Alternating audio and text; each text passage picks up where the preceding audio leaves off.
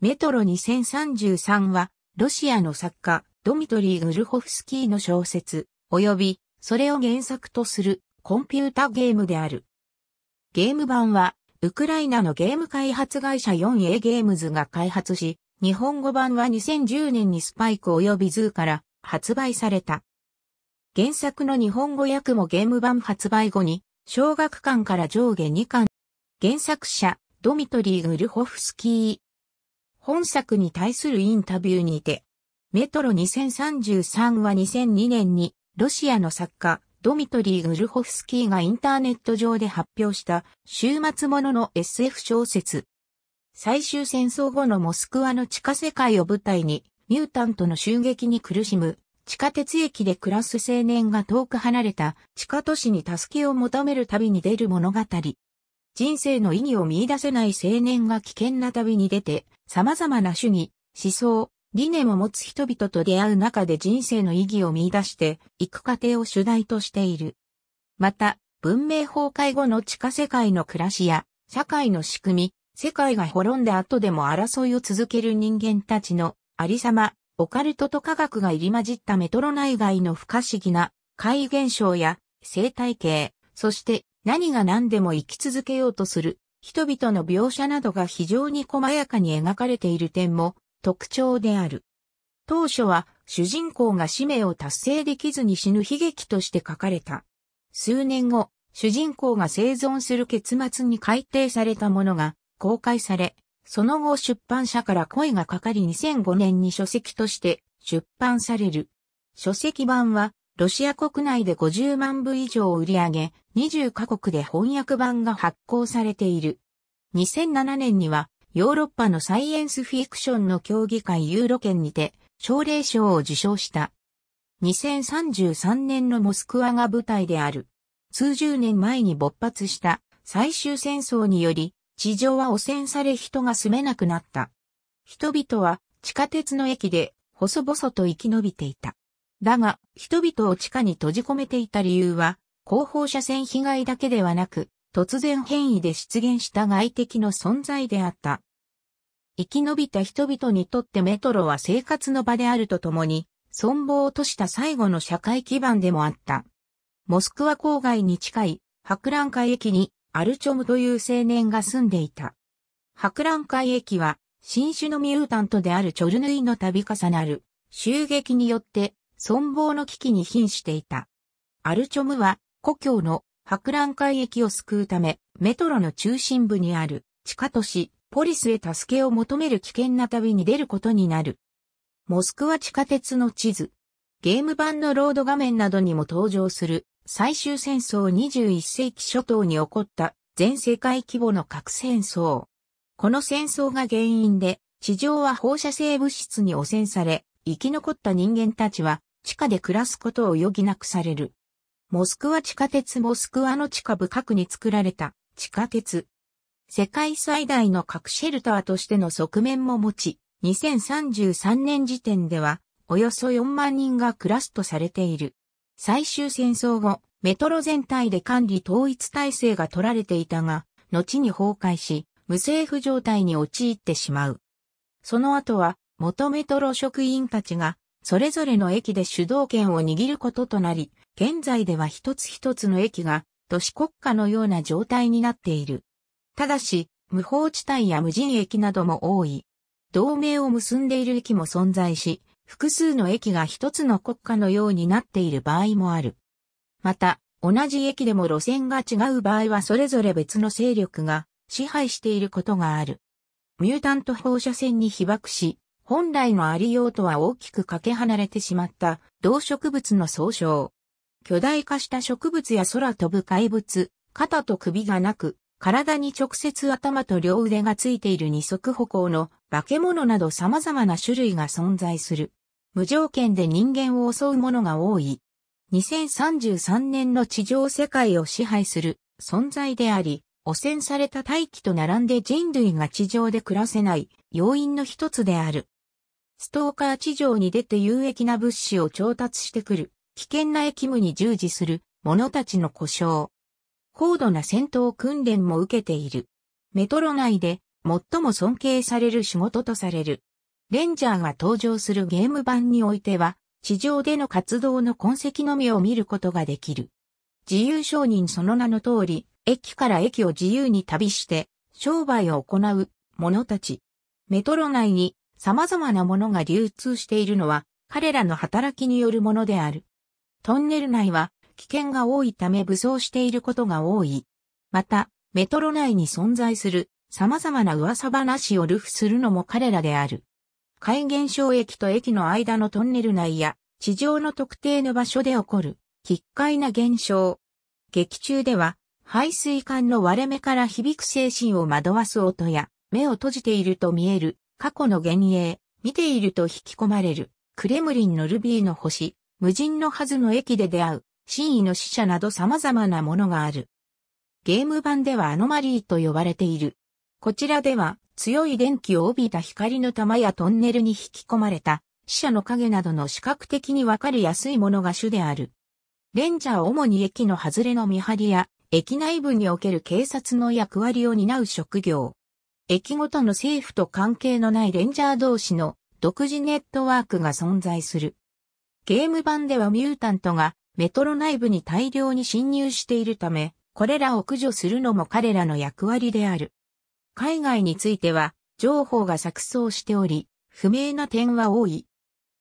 ゲーム版では、エクソダスで、実は G7 諸国やアフリカ・オセアニア、欧州諸国、南米の各大陸で都市が存続していることが明かされているほか、放射能汚染の影響のない地域が存在している。欧州はスペイン以外に都市が残っており、日本は東北地方に都市が残っている。しかし、初期の作品では、ポリアイカ駅の二人の人物はアメリカはもう存在しないと話している。海外版のアンダーグラウンド2033ユニバースでは、全世界の総人口は約1億人で西ヨーロッパを中心に新たなる氷河期が始まっている。サンクトペテルブルク、ムルマンスク、キエフ、ロストフナミニゲ、サマラ、ノボシビルスク、エカテリンブルク、グラスゴー、ロンドン、マンチェスター、モロッコ、南極、ポリナーニゾリ、ニジニーノウゴロド、モスクワ郊外の一部、クラスノダール、ハリコフ、ローマ、ベネツィア、ボリゾフ、ミンスク、カリーニングラード、ノバヤゼムリャ、ムルマンスク州、ウラジオストク、スベルドロフスク州、カザフスタン、ミラノ、フェロー諸島、スバルバル諸島、ウクライナから物理的に分断されたクリミア自治共和国などにも人は生存している。サハラ砂漠がジャングル化し、ベネツィアが砂漠化している。日本列島は一部を除きおそらく沈没していることが示唆されている。声優の表記は日本語ゲーム版のものである。アルチョム日本語音声、寺ソマ正樹本編の主人公。地上で生まれるものの、幼い頃に地下暮らしを送ることとなった読書が好きな20歳過ぎの青年。普段は彼が暮らす博覧会駅の見張り番と茶工場の仕事を交互にこなしながら暮らしている。これまでの人生のほとんどを博覧会駅とその周辺のみで過ごしてきたため世間知らずであり、それゆえの臆病さや潔癖性な言動が少なからず見受けられる一方で危険な冒険に憧れる側面もある。恐るべきミュータント、チョルヌイの襲撃を食い止めるために単身で行動を起こしたハンターの頼みを受け、地下都市、ポリスの仲間にことづてをするための旅に出ることになる。原作ではそれなりに喋るが、ゲーム版では幕愛の独白を除き、ほぼ喋らない。また、ゲーム版では、レンジャーの一員である。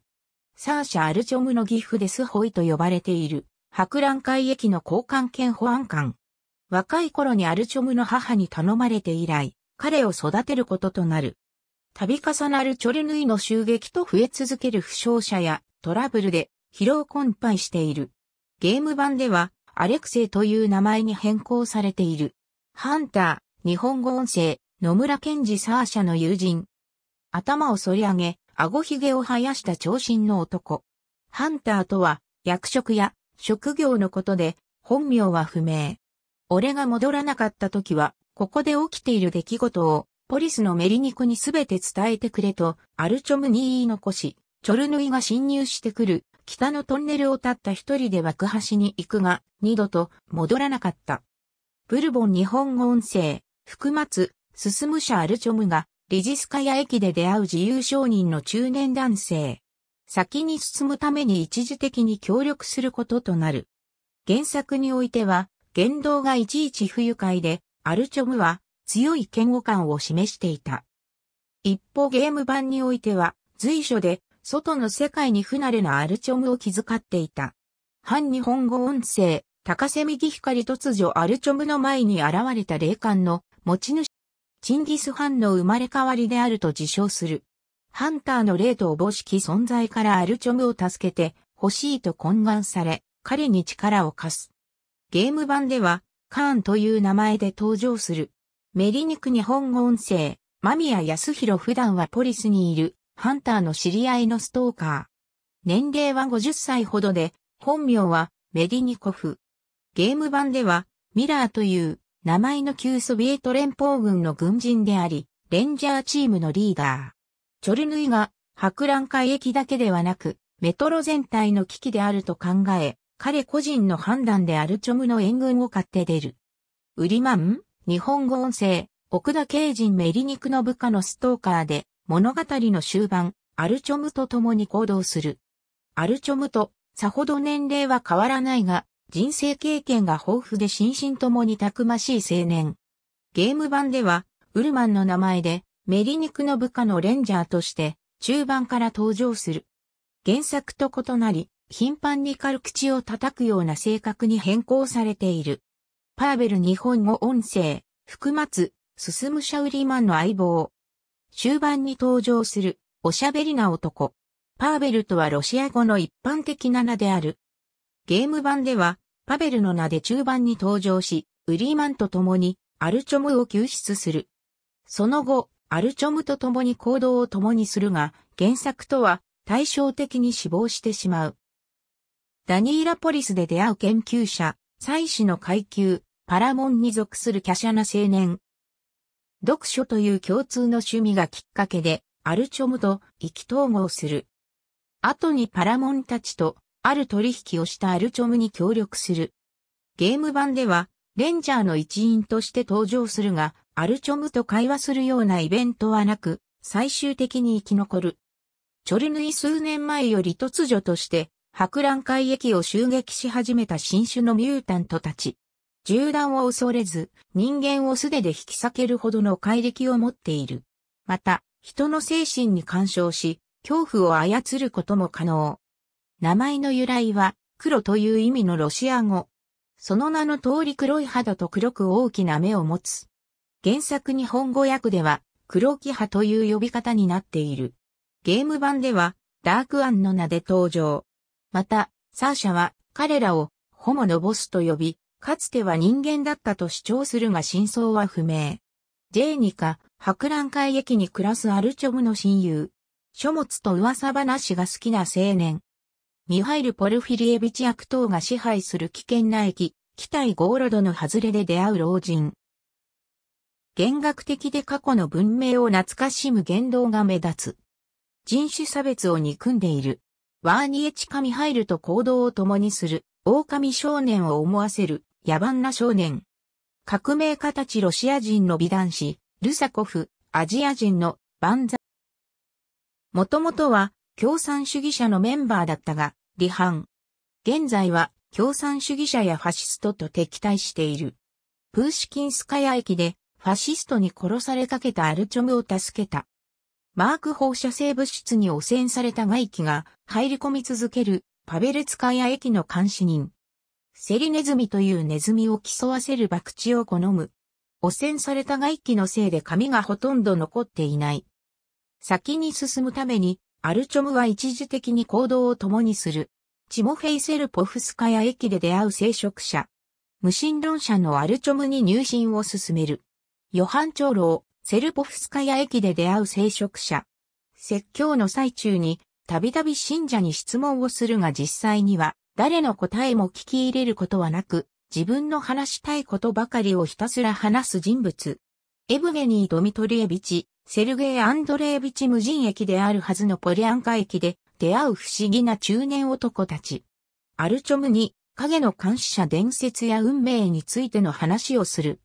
10番メリニクの部下であるストーカー。アルチョムイやメリニク、ダニーラと共にロシア国立図書館へ赴く。本名は不明で、なぜ10番と呼ばれているかも不明である。アントに行方不明事件が多発するキエフスカヤ駅に暮らす男。最終戦争時代はミサイル部隊に所属していた。オレグ・アントンの幼い息子。アルチョムと仲良くなるが、彼もまた行方不明になってしまう。新館勝利公園駅で野蛮人たちに偉大なる大蛇の教えを説く老人。もともとはインテリであった。世界を滅ぼした機械文明を憎んでいる。ドロン勝利公園駅に暮らす純真な野蛮人。新館の忠実な僕。友人日本語音声、間宮康弘アルチョムの友人。リガ駅へ向かうキャラバンに加わった。アンドリュー・アーモリー駅で出会うファンの友人。鍛冶屋。共産主義者に追われたアルチョムをかくまってくれる。サシェンカミュータントの襲撃で壊滅した駅で生き残っていた少年。ウラジミールポリスのレンジャー。武器庫の管理人で技術者でもあり、完治にふさわしいロシア棒が特徴。原作のアントンの代わりの立ち位置にいる人物で、ミサイルの発射や制御が役目。ステパン、ボリスポリスのレンジャーたち。アルチョ村と共に D6 内に突入するが、ミュータントによって二人とも殺される。以下、主な場所のみ挙げる、実際の博覧会駅の地上入り口の様子こちらは、実際の北イゴロド駅実際のノービーアルバート通り、博覧会駅正式名称は、国民経済達成博覧会駅で略称は、ゲーム版では、エキシビジョン駅という名前で登場する。アルチョムやサーシャが暮らす駅であり、キノコを材料とする特別な茶の名産地。戦前の本がたくさんあり、メトロの中で数少ない文化が生き残っている場所でもある。北側のトンネルからチョルヌイが幾度となく襲来しており、危機的な状況に陥っている。リジスカヤ駅博覧会駅から南に二駅離れたところにある商業の盛んな駅。博覧会駅と同盟を結ぼうとしている。ゲーム版では、リガ駅の名前で登場。平和通り駅環状線にある駅で、リジスカヤ以上に商売が盛ん。ゲーム版では、マーケット駅という名前になっている。北イゴーロド駅他の勢力から独立している駅であり、活気はあるものの非常に治安が悪く大敗している。武器、アルコール、麻薬、女など金さえあれば何でも好きなだけ買えるとまで言われている。スラブ人が支配する6号線側とコーカサスが支配する7号線側に二分されている。プーシキンスカヤ駅、トベルスカヤ駅、チェーホフスカヤ駅ファシストの集団、第四帝国が支配する駅。これらの駅は3つの路線が交差しているところにあり、互いにつながっている。パベルツカヤ駅環状線にある駅の一つだが、地上と地下を隔てる金属製防御壁がないため、常に放射性物質に汚染された外気が流入し続ける危険な駅。夜ごとミュータントが大量に流入してくるため出入り口を塞ぐことは不可能。住人は皆重篤な被爆者である。ポリアンカ駅ポリスの手前にある誰も住んでいないはずの駅。だが、ポリスのパラモンたちは運命の駅と呼び、選ばれた者だけが真意の死者に出会えるとしている。ポリス4路線が交差するメトロの中心地に存在する、ボロビツカヤレーニン図書館、アレクサンドロフスキー庭園、アルバツカヤの4駅を一つの都市としたメトロ最大の都市国家。最も豊かで治安も良く、強大な軍隊を持ち、そしてすぐ上にあるロシア国立図書館から持ち出した大量の書物によりもたらされる優れた文化が生き残り続ける駅。ロシア国立図書館世界最大級の国立図書館。司書と呼ばれる存在が支配している。パラモンたちの伝説によると、この世の歴史がすべて書かれた本があると言われている。クレムリン世界遺産にもなっているモスクワのクレムリン。本作では先頭にある赤いルビーの星を見るとそのまま宮殿内に引き込まれ二度と帰ってこられなくなるという噂が存在する。国立図書館に入るためには、この宮殿を横切らなければいけない。ノービ・アルバート通り地上にある通り。やむを得ない事情で、アルチョムはこの通りを進むことになる。無数のミュータントが生息する非常に危険な場所。キエフスカヤ駅環状線にある駅の一つ。最近、行方不明事件が多発している。勝利公園駅、キエフスカヤ駅のすぐ隣にある偉大なる大蛇を崇める野蛮人たちが暮らす駅。過去、何らかの事情により、キエフスカヤと壁で隔てられてしまう。D6 メトロ2号線 D6 とはメトロ2号線の入り口、そしてメトロ2号線は戦前秘密裏に作られた路線で隠されたミサイル基地へとつながっている。アルチョムたちはチョルヌイノスをミサイルで破壊するためにこの場所を探し求めることとなる。ゲーム版では D6 が秘密のミサイル基地の名称となっている。植物園駅博覧会駅の北隣にある長年、無人駅だった場所。現在では、チョルヌイノスがあるとされている。オスタンキノタワー博覧会駅から 2km 離れた場所にある巨大な電波塔。チョルヌイノスの正確な座標をメリニクに知らせるために最後に訪れる場所。ハンザ環状線の駅が同盟を結ぶことでできた大国。非常に豊かで厳重な警備も敷かれている。自由承認や一部のストーカーが持つ特別なパスポートがないと入ることができない。かつて共産主義者と戦争をしていた。アルチョムは劇中何度か環状線の駅に訪れるが、厳密には環状線から他の路線につながる乗り換え駅側がほとんどで、半座側の駅に入る機会は少ない。なお、ゲーム版では最後までハンザに入ることがない。名前の由来は、ハンザ同盟から。公式の名称は別に存在するのだが、あまりに大げさなものだったらしく、次第に、ハンザの通称で呼ばれるようになった。共産主義者1号線の大半の駅を支配する勢力。共産主義に根ざした復興を目論み、1号線の多くの駅名を共産主義にちなんだ名前に改名した。ゲーム版では直接戦闘する場面があるが、原作では出会うことがない。原作ではかつて、ハンザと戦争をしていた。ゲーム版では、第四帝国と戦争中である。第四帝国人種差別主義者の集まりで、スラブ人以外を排斥しようとしている。いわゆるスラブ版ネオナチであり、ナチスドイツとの直接的な関係はない。ゲーム版では、共産主義者と戦争をしている。ポリスのカースト制ポリスには、インドのカーストを模した制度があり、再試験学者のパラモン、軍人のクシャトリア、商人のバイシャ、奴隷のシュードラの4つがある。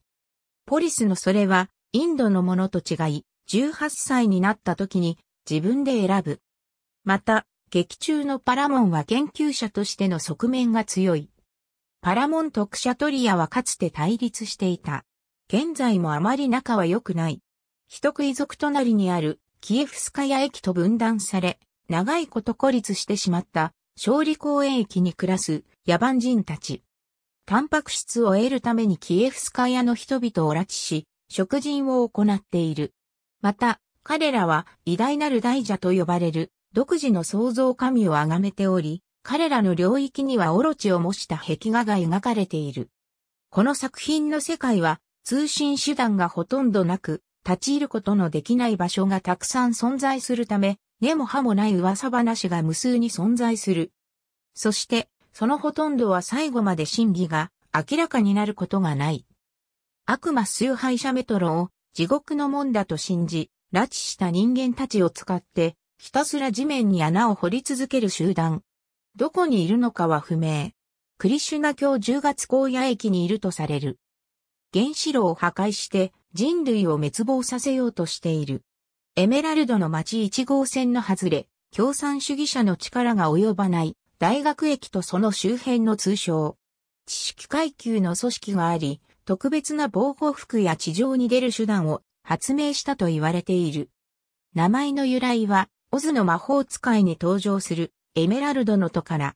影の監視者メトロ2号線にいるとされる神のごとき存在。その名の通り人類を影から監視していると言われている。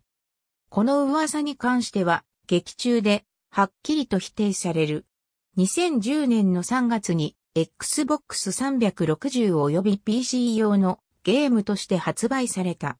コールオブデューティシリーズなどに代表される物語や演出をプレイヤーに体感させることに重きを置いた一人称視点のアクションシューティングゲームになっている。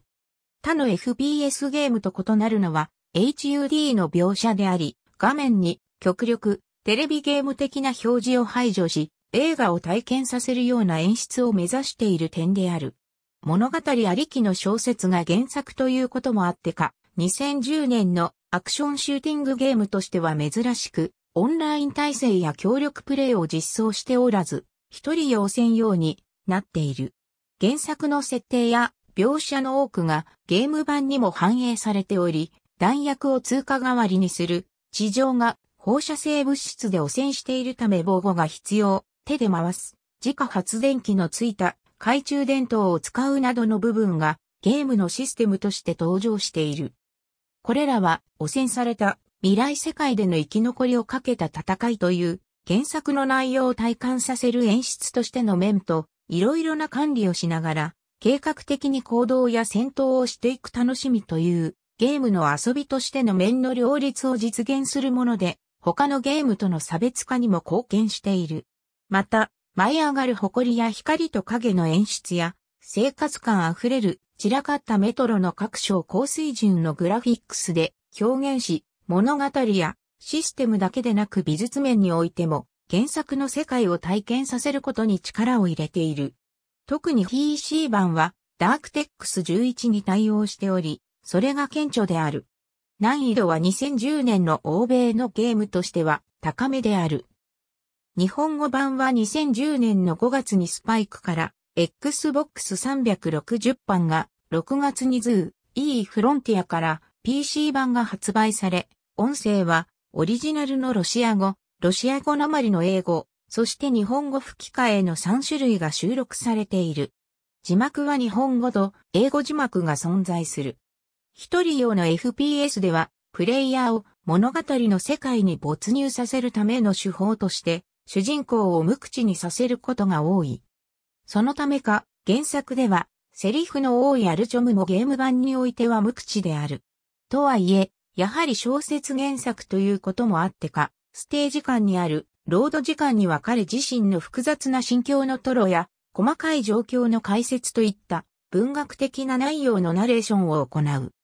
ゲームのアルチョムは、ギフ、アレックスの友人であるファンターを尊敬しているが、彼が偵察から生きて戻らなかったために生まれて、初めて故郷から外へと出ることとなる。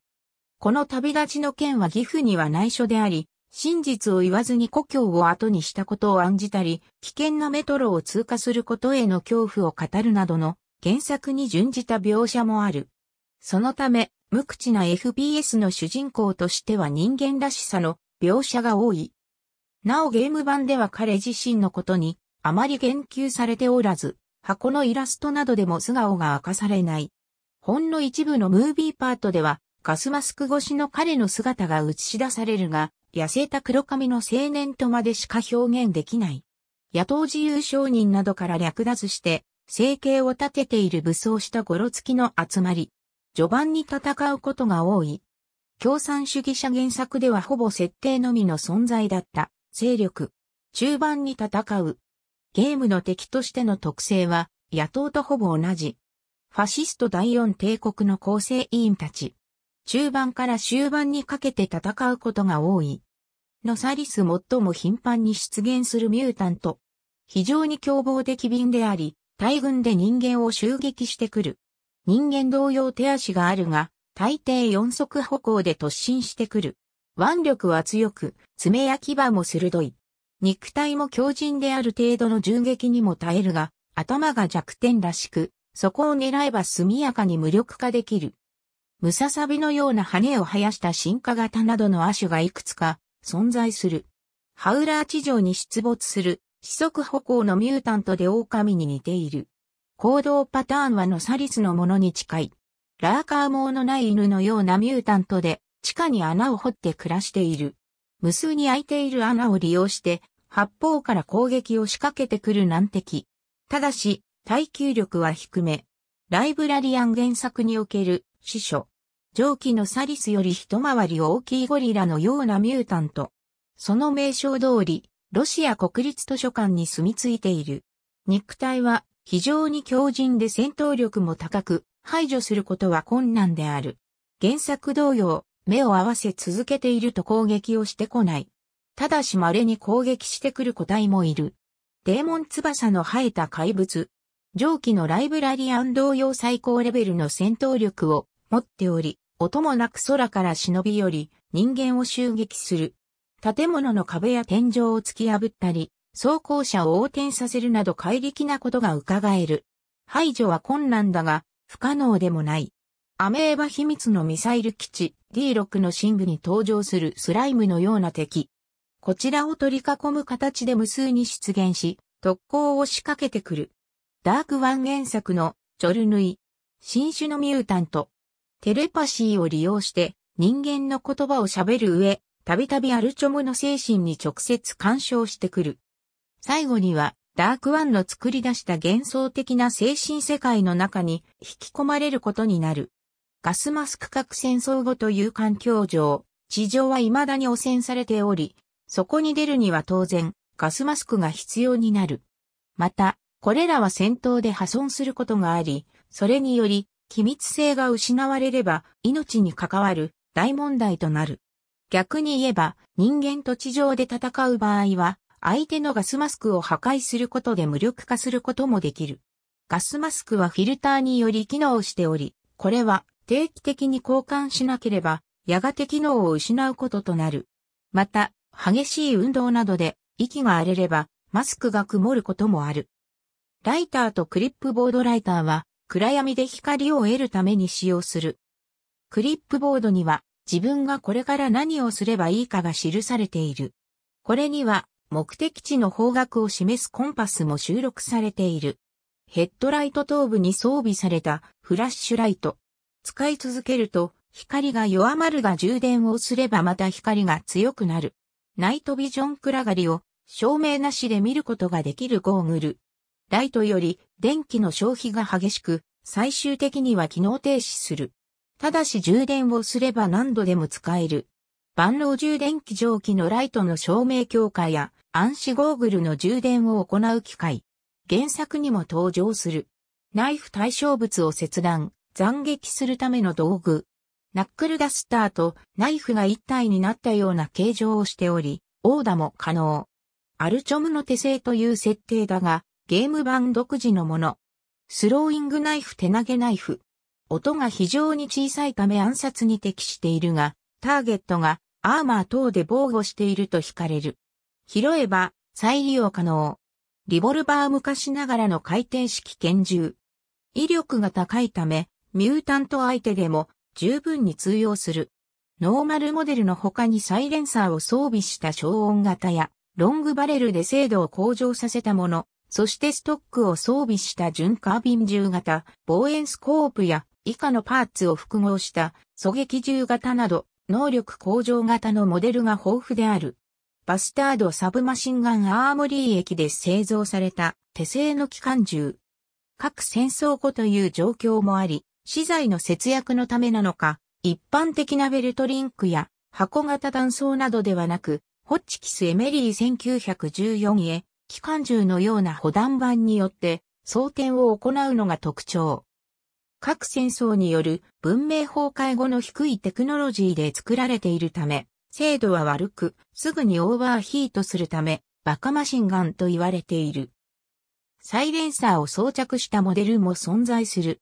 一発あたりの威力はリボルバーをかなり下回るため、敵によってはあまり有効でない場合もある。AK-74、東側世界を代表していた、命銃、カラシニコフ。一種のロストテクノロジーであるため入手困難だとされているが、中盤以降は大量に入手でき、むしろ上記のバスタードの方が入手が困難になる。スコープを装備したカスタムモデルが存在する。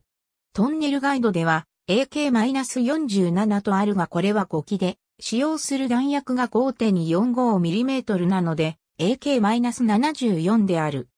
VSV 大型のサイレンサーが組み込まれた自動小銃。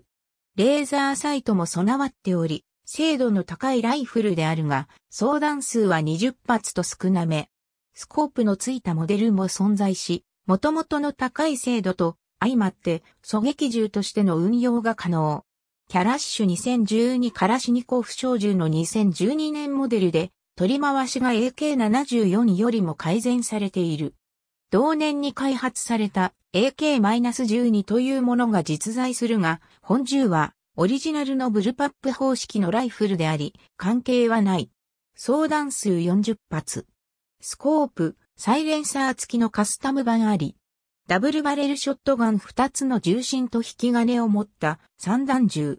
至近距離では絶大な威力を発揮するが、2つの銃口から同時に放てば、さらに強力な一撃を放てる。同時射撃ならばのサリス程度は一撃で仕留められるが、2発しか装填できない短所がある。オートマチックショットガンリボルバーのような6発装填のベルト式弾倉を持つ、より実践的な三段銃。独特なリロード方式が特徴。銃剣付きモデルも存在する。かつて、ソビエト時代に開発されたベルト式弾倉を持つ銃を参考にしている可能性がある。弾倉の構造上、1回の装填で6発すべてを装填できない場合もある。ヘビーオートマチックショットガン連続発射が可能なベルト球弾式のショットガン。外見は DSHK に似ている。もともとこの武器は初回限定版を購入したユーザーだけがダウンロードできるものだったが、日本語版ではあらかじめ実装されている。なお、発売数ヶ月後に登場した日本未配信のダウンロードコンテンツレンジャーパックにも収録されている。ティファール圧縮空気で金属の弾を飛ばす空気銃。発射するたびに空気が減っていくため、レバーを使って空気を圧縮させる必要がある。空気の残量は銃についた圧縮メーターで確認できる。一応フルオートでの発射も可能。スコープのついたモデルも存在し、圧縮メーターの残量に応じたおおよその射程距離を示す3色のレティクルが表示されている。ヘルシング圧縮空気で矢を発射する連想式ボウガン。ティハール同様、レバーで空気を圧縮し、メーターで残量を確認できる。連射が効かず弾が効果であるのが欠点だが、矢は再利用が可能で、威力も高い。スコープのついたモデルも存在する。ボルトドライバー電気によって弾を発射するガウスガン。弾はティハールと共用。劇中ではミラーが使用しているだけの NPC 専用武器であったが、レンジャーパックでプレイヤーも使用可能となった。ティハールやヘルシングと同様にレバーでバッテリーを充電して発射用のエネルギーとする。またバッテリーを消費しての近接攻撃も可能。オスタン機のテレビ等固有名詞はゲーム日本版の表記に準ずる。プロローグアルチョムとミラーはコローレフホールを通過し、モスクワの地上へと出た。他の仲間と合流して彼らは旅の終着点であるオスタン機のタワーに向かう。だが、地上の支配者であるミュータントらの激しい攻撃を受け、レンジャーたちは次々と倒れていく。そして、アルチョムも窮地に陥ったところで、物語は8日前に遡る。第1章、旅の始まり西暦2033年。最終戦争で地上が壊滅してから20年。新たに地上を支配しているミュータントたちは、地下で生き延びていた人類を徐々に追い詰めていた。辺境のエキシビジョン駅も度重なる襲撃で数多くの負傷者を出していた。さらに、追い打ちをかけるかのように、ダークアンと呼ばれる新種のミュータントまでもが襲いかかってくるようになっていた。そんな中、野外活動を行うレンジャーであるハンターがエキシビジョンにやってきた。彼は状況を把握するため偵察に出るが、二度とアルチョム、たちの前に戻らなかった。アルチョムは彼の伝言をポリス駅のミラーという人物に伝えるため、隣のリガ駅へ向かうキャラバンの護衛に加わり、これまで出ることがなかった故郷を後にした。第2章、ブルボン危険と犠牲を伴ったが、なんとかリガに到着したアルチョム。キャラバンはここで終点のため、ここからは一人でポリスを目指さなければならない。途方に暮れるアルチョムだが、ブルボンと名乗る中年男性から取引を持ちかけられる。それは一緒にドライ駅に行くというものであった。報酬はカラシニコフ小銃とし、二人はドライ駅へ向かうため廃墟となったモスクワの地上へ向かう。第三章、カーンドライ駅に到着したが、ここは野党が制圧しており、連中のアジトとなっていた。しかもブルボンは捕まってしまう。アルチョムはブルボンを救出するためドライ駅の中を突き進むが、ブルボンは野党の狩猟との決闘により命を落としてしまう。その後、カーンと名乗るレンジャーが突如現れた。野党の追撃から逃れるため、アルチョムは彼に従いドライ駅を後にする。カーンの助言により、ポリスを目指すためアーモリー駅を目指すことになった。アーモリー駅に到着したアルチョムは、不審者とみなされ、駅を支配する共産主義者たちに身柄を拘束される。だがここで、カーンの友人アンドリューに救出される。ここから出て、ポリスへ行くには、共産主義陣営の新兵を乗せたトロッコに紛れて、ファシストとの戦場に行くしかないとのことである。アルチョムは、アンドリューたちの支援を受け、共産主義とファシストとの最前線へ向かった。第4章、戦乱共産主義者とファシストの戦場を通過したアルチョムだったが、待ち伏せていたファシスト兵によって囚われてしまう。だがそこに現れた二人のレンジャー、ウルマン、パベルによって救出される。アルチョムがハンターの使いだと知ったウルマンは相棒のパベルにポリス駅まで同行させることにした。